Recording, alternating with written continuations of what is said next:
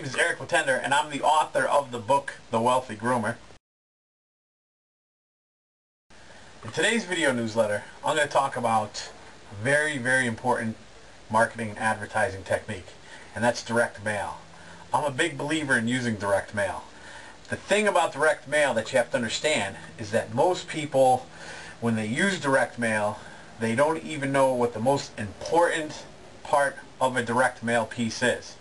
If you were to ask 10 people what is the most important component to a direct mail piece, they would say, well, it's got to be the headline. When somebody opens up the envelope, they see the headline. Somebody else would say the copy. Somebody else would say the PS. Somebody else would say the offer.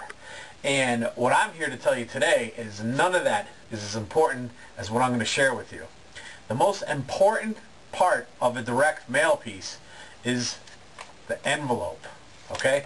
Most of the time, when somebody sends out a direct mail piece, the person getting the direct mail takes one look at it and the piece screams at them, junk mail.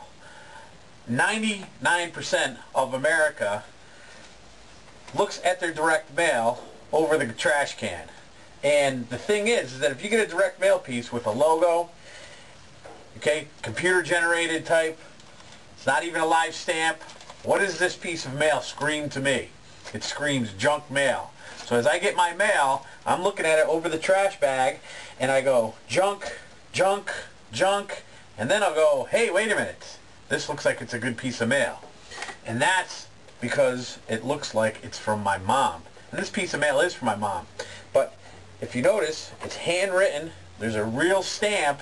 And um, in the return address, you could always handwrite that in or just put the street address in the town that you're from. When you get a piece of mail like this, you're not going to throw it away. So the trick to using direct mail is to make sure it doesn't look like junk mail. If you're going to spend a lot of time and money and effort sending out a direct mail piece, the most important uh, function of that direct mail is to make sure the person opens it. Okay, and if it looks like junk mail, there's a strong chance they're just going to chuck it. So make sure that your direct mail piece looks like it's mail coming from a friend or a relative. Don't let your direct mail look like it's coming from a business because then you've just wasted all your time, effort, and money. And one more thing. If you go to your town hall, you can get a list of all the dog owners in your town and you can direct mail them from that list. So that's today's video newsletter. And if you have any questions about direct mail, about what to actually put in the envelope, anything like that, feel free to email eric at thewealthygroomer.com. And don't forget, my 40th birthday is two days away. So right now you can get any of my products for half off.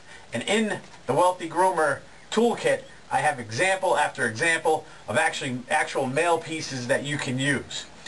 Thanks for watching and have a great day.